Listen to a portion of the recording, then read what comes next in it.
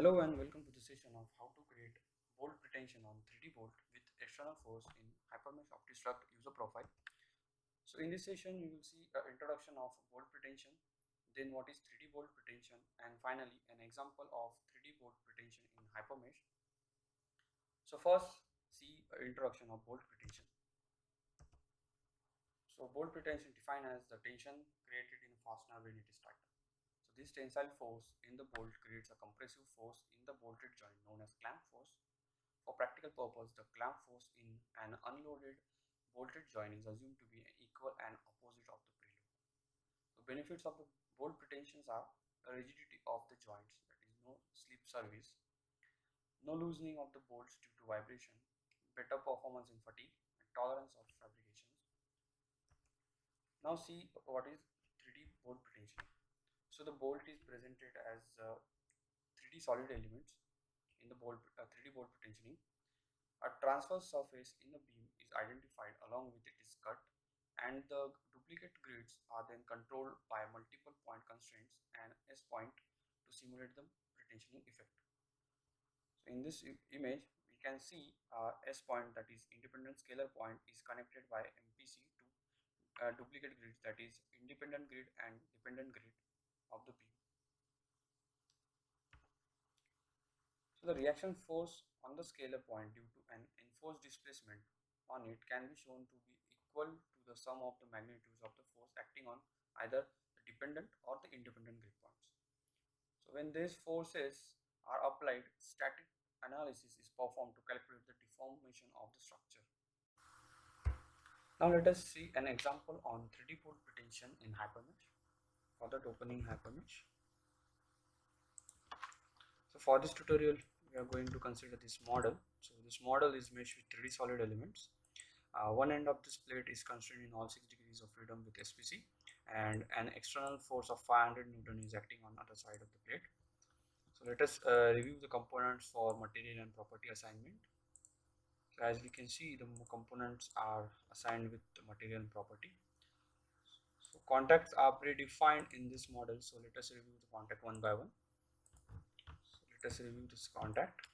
So this contact is between bolt head and the upper plate. So the blue surface uh, represent the master surface in the contact and the red surface is uh, slave surface in the contact. So let us review the second uh, contact. So this contact is between the nut and the bottom plate. So this third contact is defined between uh, two plates. Uh, then uh, this contact is between bolt head, bolt shank and plate holes. And finally, uh, the contact between bolt and nut. So now, uh, also uh, nonlinear cards are predefined in this model. So let us review one by one. So NLParam card is used to activate nonlinear solution method. NLAdapt is a adaptive control card and NL out card is used for uh, creating intermediate solution output request for in the output file. Uh, then we have SPC and an external force. So to create a 3D bolt pretension, uh, first uh, hide all the component except bolt. Then go to tools and then pretension manager to add a 3d bolt pretension. Click on add 3d bolts and then click on create new surface. So this will redirect you to creating contact surface. So click on solid surface. Make sure the card image uh, should be surface.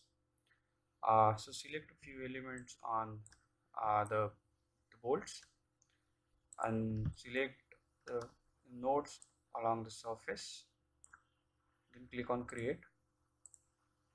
So this will create a surface named pretension uh, in the pretension manager. Uh, so select load type as force and define the load collector. So create new load collector. Define the load magnitude as 5000 leave the other field as default. Click on ok to create pretension force that is PT force so 5000 Newton PT force is created on the bolt. Let us on all the component. Now to create a load step for pretension, right click on the model browser, then click on create and then load step. So name as pretension. So select analysis type as nonlinear static analysis. Uh, under the SPC define constraints.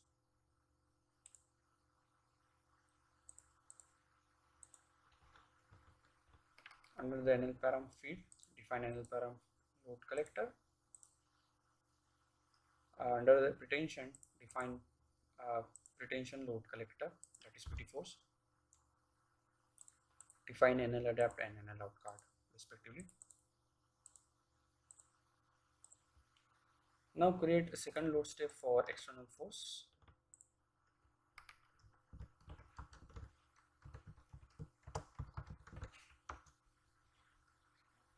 So define analysis type as nonlinear static analysis. Define a constraint under the SPC. Define external force under load. Then define NL param card.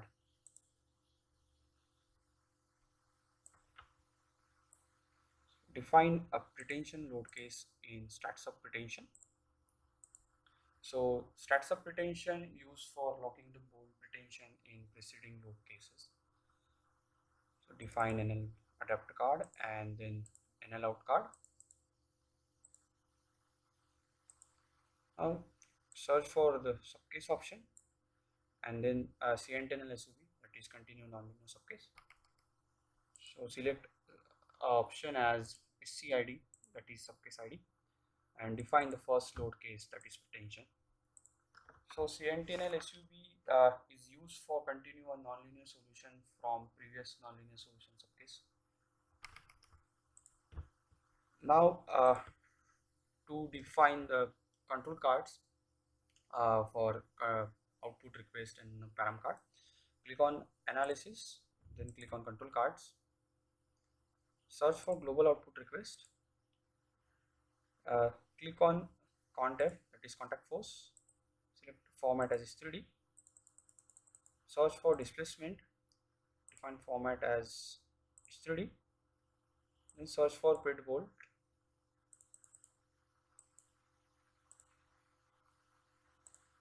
and then uh, define the format as opti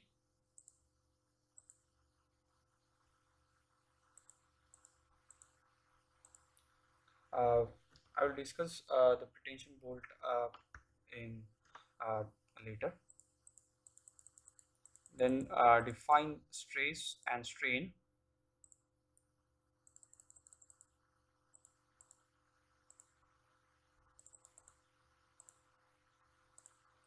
Then click on return. Now search for param card. And now search for uh, check element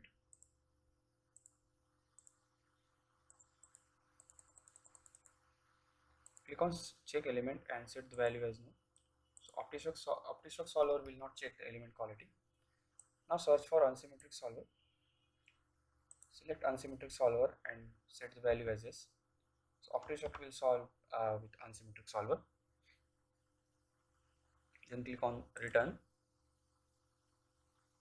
Then search for screen and set the value as out so this will result in uh, echoing out the out file while solving the model in OptiStruct click on return. Now export the file and run this uh, .fem file in OptiStruct so I have already uh, solved this file and I load the results in Hyperview so opening hyperview so the left side of this window is for a subcase 1 that is pretension subcase and the right side of this window is for a subcase 2 that is external load.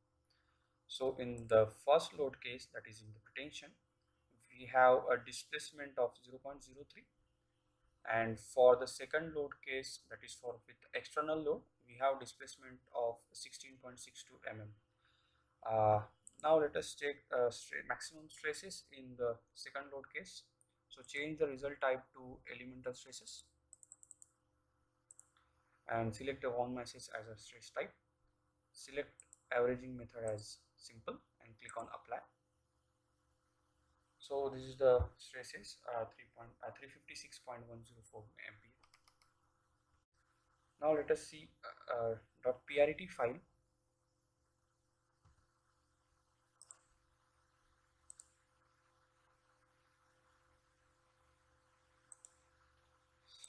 So after solving this model OptiStruct will uh, write down .prt file and .secres file. So let us uh, see first a .prt file. So open the prt file in notepad.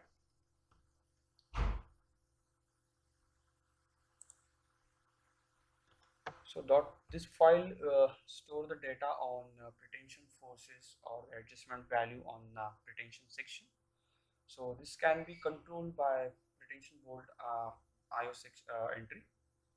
So in this file uh, we have pretension uh, then we have surface id then we have scalar point id that is s point id then we have incremental force value adjustment incremental value then we have total value of force and and the adjustment value respectively. So let us uh, go for the uh, pretension six uh, subcase. So uh, we have defined 5000 newton of force. So here we can see here the incremental force uh, and the total force is same. That means the total force is applied on the uh, section. And similarly for the adjustment value for incremental and for the total is same. Uh, now let us see uh, section uh, secres file. So opening the secres file in notepad. So uh, this file uh, is created when uh, section bulk data or we have 3d bolt pretension are present in the model. Uh, so this file contains section coordinate system and sectional resultant force and moment value uh, also it contains full name of the section for pretension. So for section area and coordinate system. So this is the the area of the pretension section. These are, these are the coordinate system of this pretension section and uh, those are the reference point for the, the section.